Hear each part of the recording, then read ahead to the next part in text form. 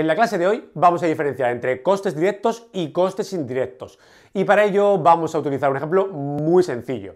Imagínate que estamos con la empresa Muebles Sublime, que fabrica dos tipos de productos. Por un lado, mesas y por otro lado, armarios. Y para ello utiliza una serie de factores productivos. Alquila un local, contrata una serie de trabajadores, gasta una determinada cantidad de dinero en publicidad, compra madera, etc. Pues bien, de todos estos costes de los factores productivos, nosotros estamos muy interesados en saber qué costes son de las mesas y qué costes son de los armarios. Esto es así porque nosotros queremos llegar al final a saber cuál es el coste unitario, es decir, cuál es el coste de producir una mesa y cuál es el coste de producir un armario.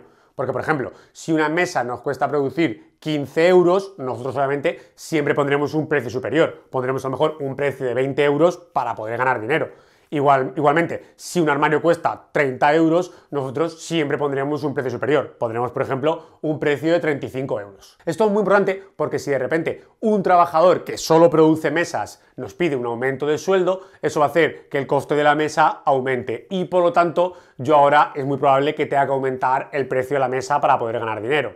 De la misma manera, si yo para producir armarios necesito madera y de repente esa madera baja de coste, es decir, yo la puedo comprar más barata, ahora el coste de producir el armario es mucho menor y eso puede hacer que yo le pueda bajar el precio a mis clientes. Sin embargo, hay veces que no sea tan fácil saber qué costes serán de las mesas y qué costes de los armarios. Por ejemplo, imagínate que producimos en un local y ahí está la gente produciendo por un lado mesas y por otro lado armarios y nosotros nos gastamos de luz 500 euros. ¿Cómo repartimos esos 500 euros? Es decir, ¿cómo sabemos de esa cantidad de luz qué parte sería un coste de la mesa y qué parte sería un coste del armario? Bueno, pues aquí está la clave, que es la diferenciación entre lo que es un coste directo y un coste indirecto.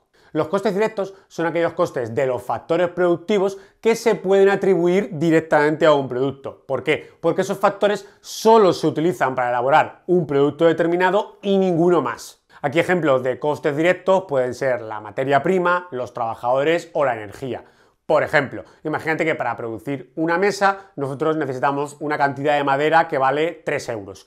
Y además vamos a contratar un trabajador que por cada mesa que produce le tenemos que pagar 10 euros. Y también para tener en funcionamiento una determinada máquina necesitamos una cantidad de energía, de combustible, que son 2 euros. Si sumamos estas cantidades podemos ver que el coste total de producir esta mesa, este coste directo, es de 15 euros podemos hacer exactamente lo mismo con los armarios. Para producir un armario necesitamos una cantidad de madera que puede que valga 5 euros. También contratamos a un trabajador que por cada armario que produce le pagamos 15 euros. Y luego se necesita una cantidad de combustible, una cantidad de energía que vale 3 euros. Bueno, pues si sumamos los tres, vemos que los costes directos para producir un armario son de 23 euros. Sin embargo, estos no son los costes definitivos ni de la mesa ni del armario, porque la empresa tiene otra serie de costes que son los costes indirectos. Los costes indirectos son aquellos costes de factores productivos que afectan a toda la producción en su conjunto y por lo tanto nosotros no podemos atribuírselo solo al producto. No podemos decir que sean solo costes de las mesas o solo costes de los armarios. Por ejemplo, imagínate que la empresa tiene otra serie de gastos, como un alquiler de un local, que cuesta 1.000 euros.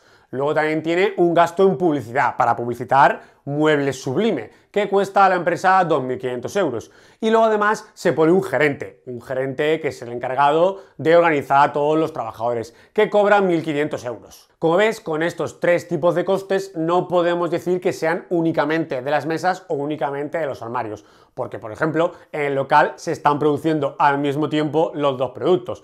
La publicidad de la misma manera es también para los dos productos, tanto mesas como armarios. Y el gerente va a organizar toda la empresa, va a organizar a todos los trabajadores. Sin embargo, es necesario que la empresa utilice algún método de asignación de estos costes indirectos. Es decir, que sea capaz de decir estos 5.000 euros, cómo se reparten entre las mesas y cómo se reparten entre los armarios.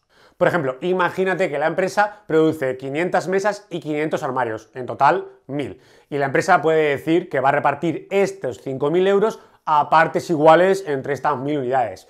Si dividimos 5.000 entre 1.000, cada unidad, cada mesa y cada armario tendrá asignado 5 euros de costes indirectos. Así, la mesa que tenía 15 euros de costes directos habrá que sumarle otros 5 euros de costes indirectos y por lo tanto el coste unitario final de la mesa será de 20 euros. De la misma manera, los armarios que tenían un coste directo de 23 euros tendrán que ver sumados 5 euros de costes indirectos y vemos que el coste final de cada armario será de 28 euros. En conclusión, que la empresa tendrá que repartir todos los costes por cada uno de estos productos, porque nosotros queremos saber cuál es el coste unitario de cada uno de ellos. En este ejemplo tan sencillo, una vez que hemos repartido tanto los costes directos como los costes indirectos, vemos que cada mesa cuesta en producirse 20 euros y que cada armario cuesta 28. Obviamente, la empresa tendrá que venderlo por un precio superior para poder ganar dinero. Y con esto hemos acabado por hoy y nos vemos como siempre en la siguiente clase.